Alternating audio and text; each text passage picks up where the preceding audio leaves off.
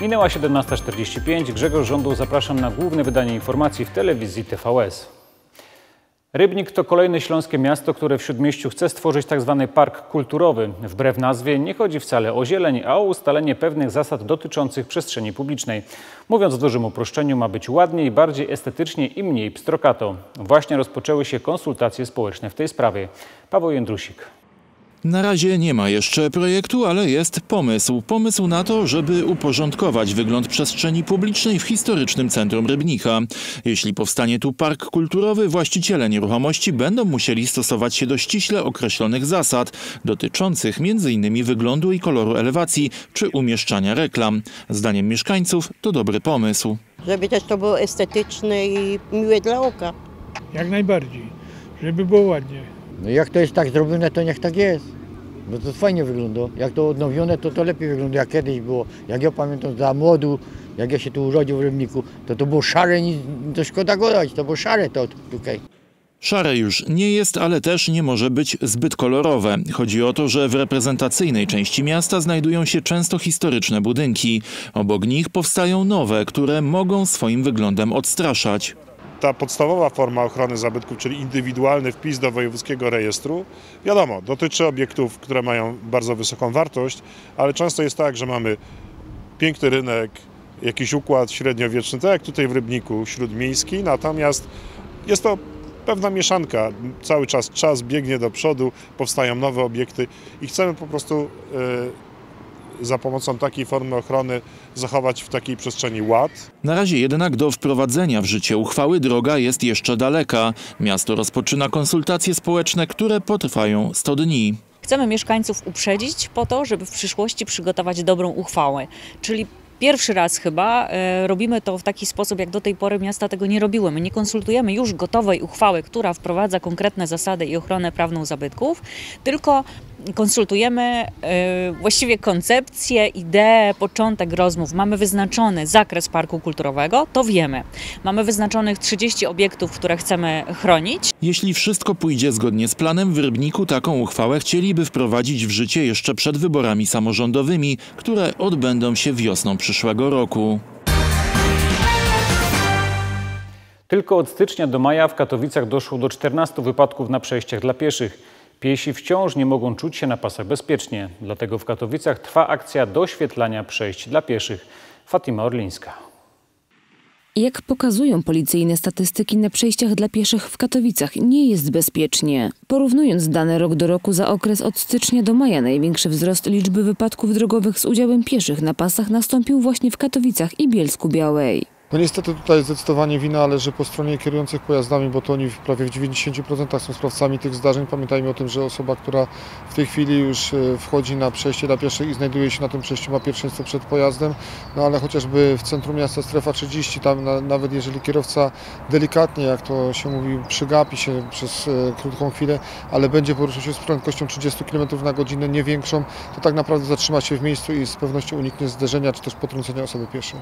Dlatego policja wciąż apeluje, aby kierowcy zbliżający się do przejść dla pieszych zachowywali szczególną ostrożność. Te w Katowicach mają być teraz bardziej widoczne dzięki montażowi dodatkowych latarni w najbardziej newralgicznych miejscach. Do końca roku miasto przewidziało modernizację łącznie 64 przejść. Poza samym doświetl- doświetleniem jeszcze będziemy mieli kwestię dodatkowych oznaczeń e, przejść dla pieszych poprzez e, odpowiednie piktogramy na e, jezdni realizowane mm, farbami hemoutwardzalnymi, ty, tymi, które powodują, że nie tylko e, widzimy to, że coś jest na drodze, jakieś oznaczenie wskazane, ale również czujemy przejeżdżając samochodem Dodatkowo trwa likwidacja miejsc parkingowych przed przejściami dla pieszych, które wygradzane są metalowymi słupkami.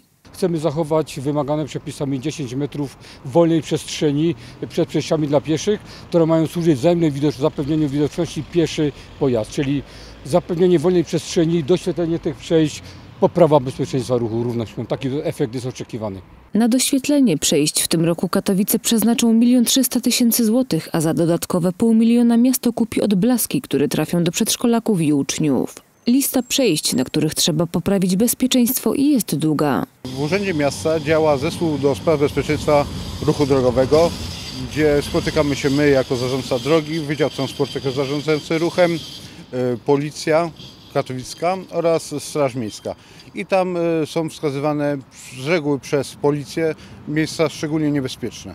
I pod tym kątem tak samo rozpatrujemy przejścia. Niemniej bierzemy tak samo pod uwagę przy rozpatrywaniu tych y, lokalizacji dla doświetlenia przejść y, głosy radnych oraz mieszkańców. Od początku tego roku doświetlonych zostało 31 przejść, a do końca 2023 roku dojdą kolejne 33.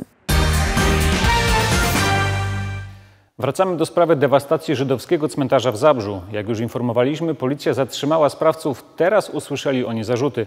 Wiadomo już, że naprawa zniszczonych grobów będzie kosztować setki tysięcy złotych. Pomóc w uporządkowaniu cmentarza może każdy. Paweł Jędrusik. Początkowo policja zatrzymała w tej sprawie czterech mężczyzn, jednak po przesłuchaniu dwóch młodszych, 21 i 32-latek, zostali zwolnieni. Zarzuty usłyszeli za to 41 i 42-latek. Sąd nie zgodził się na ich tymczasowe aresztowanie. Będą więc odpowiadać z wolnej stopy. Ci mężczyźni zostali zatrzymani niekró- niedługo po tym, jak e, te dewastacje zostały ujawnione.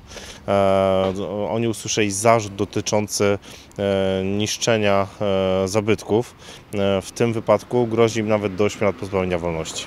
Teraz zabytkowy cmentarz trzeba odbudować. W czwartek o godzinie 14 opiekun nekropolii Dariusz Waleriański organizuje wydarzenie pod nazwą Zjednoczeni Pamięcią i zachęca mieszkańców do pomocy przy pracach porządkowych. Zapraszamy każdego, oprócz y, takich drobnych prac, czyli tu gdzieś coś wyplewimy, tam pozbieramy śmiecie, to co uda nam się, mm, e, niektóre może te mniejsze pomniki, szczególnie w kwaterze dziecięcej, przynajmniej podniesiemy, żeby napisami były do góry.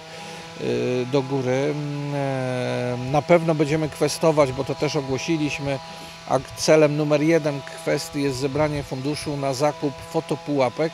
Jeśli uda się zebrać więcej pieniędzy, opiekun cmentarza chciałby, aby zostały na nim zamontowane kamery monitoringu. W całej Polsce trwa nabór na ławników sądowych. Zgłosić swoją kandydaturę można tylko do końca czerwca. Kto może zostać ławnikiem, jakie uprawnienia ma ławnik i kto go wybiera, o tym Fatima Orlińska. Obecna kadencja ławników sądowych mija z końcem 2023 roku, dlatego do końca października gminy muszą wybrać nowych. Wszyscy zainteresowani mogą się zgłaszać do swojego urzędu gminy. Kandydat na ławnika musi zyskać poparcie przynajmniej 50 mieszkańców miasta, prezesa sądu lub organizacji pozarządowej. Kandydatem e, na ławnika może być osoba, która ukończyła 30 lat, ale nie ma jeszcze lat 70. E, osoba w Gliwic, zamieszkała w Gliwicach lub pracująca czy prowadząca działalność gospodarczą na terenie naszego miasta. E, Musi to być osoba o niepoznakowanej, nieposzlakowanej, przepraszam, opinii e, i nie może być to osoba, która jest zawodowo związana z wymiarem sprawiedliwości, no bo ławnicy to jest reprezentant społeczeństwa w wymiarze sprawiedliwości. Ponadto ławnikami nie mogą zostać radni gminy, powiatu i województwa, duchowni, funkcjonariusze policji czy służby więziennej. Kandydat na ławnika musi posiadać obywatelstwo polskie i wykształcenie co najmniej średnie. Ławnik może uczestniczyć w ciągu roku w 12 rozprawach, chyba że sprawa jest bardziej skomplikowana, wtedy może ich być więcej. Można powiedzieć tak, że ławnik uczestniczy w wydawaniu rozstrzygnięć na takich samych zasadach jak sędzia, no czyli prosta sprawa, jeżeli w składzie jest dwóch ławników i sędzia, no to ławnicy mogą przegłosować sędziego, tak można powiedzieć. Ławnicy dostają dietę w wysokości 2,64% podstawy wynagrodzenia zasadniczego sędziego. Zainteresowani kandydaci dokumenty powinni dostarczyć do urzędów w swojej gminie, a o wyborze ławników decyduje w tajnym głosowaniu Rada Miasta. Franciszek Pieczka będzie miał swoje popiersie w Galerii Artystycznej Miasta Katowice. Tak w głosowaniu zdecydowali mieszkańcy. Rzeźba zmarłego niespełna rok temu aktora zostanie odsłonięta w połowie września podczas urodzin Katowic. Chociaż tylko nieco ponad 1100 osób wzięło udział w plebiscycie dotyczącym uhonorowania kolejnej postaci w Galerii Artystycznej Miasta Katowice, to ich wybór zostanie uszanowany. Najwięcej głosów otrzymał zmarły niespełna rok temu aktor Franciszek Pieczka. Już tradycyjnie na początku września w ramach urodzin e, miasta odsłaniamy uroczyście e, popiersie tej kolejnej ważnej osoby, e, ważnej dla Katowic oraz dla całego regionu. Do tegorocznego plebiscytu plebiscytu postać Franciszka Pieczki została zgłoszona przez trzy instytucje.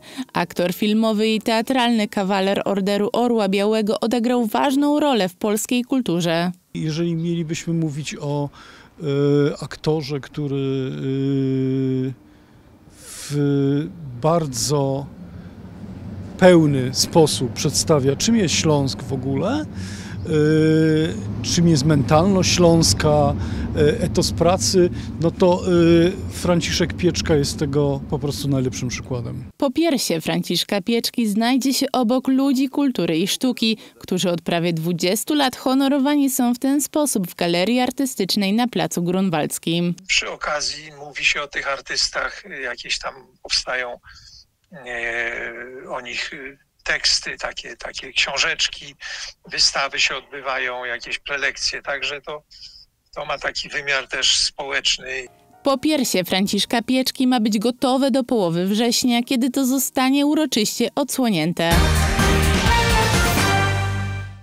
Przez kilka lat uczyli się jak projektować, a teraz pokażą swoje pomysły szerszej publiczności. 16 czerwca w Akademii Śląskiej odbędzie się specjalny pokaz mody. Wśród zaprezentowanych kolekcji znajdą się wybrane prace dyplomowe studentów i absolwentów kierunku wzornictwo. Projektanci pokażą nie tylko stroje, ale też przeróżne akcesoria, biżuterię, wzory materiałów i nadruki, które będzie można kupić podczas aukcji charytatywnej. Karolina Komada. Trwają ostatnie próby i przygotowania do Fashion Fever w Akademii Śląskiej. To promocja najzdolniejszych studentów Katedry Wzornictwa, którzy powoli wkraczają na rynek pracy. Studenci i absolwenci nie tylko zaprojektowali stroje, ale też sami je uszyli. Będziemy mieli pokaz y, wybranych kolekcji dyplomowych, zeszłorocznych dyplomantów i dwa lata temu, y, którzy ukończyli studia. Także będzie tych kolekcji prawie z 13. Mm, Będzie również pokaz y, y, pod tytułem Moda na pomaganie, czyli taki pokaz związany z y, aukcją charytatywną. Także bardzo, bardzo dużo różnych, przeróżnych strojów, przeróżnych pomysłów po to, aby nasi studenci mieli możliwość tutaj się zaprezentować. Zaprezentują się także studenci architektury wnętrz, którzy zaprojektowali scenografię do pokazu mody. Dodatkowo podczas wydarzenia odbędzie się aukcja charytatywna. To jest aukcja na rzecz Stowarzyszenia Dom Aniołów Stróżów. E, Studenci przygotowali swoje autorskie projekty. To są zarówno e, torebki, grafiki, to będą również kolekcje, które zostaną zaprezentowane podczas piątkowego pokazu. Mamy też e, występy artystyczne, zespoły studenckie będą prezentowały swój repertuar.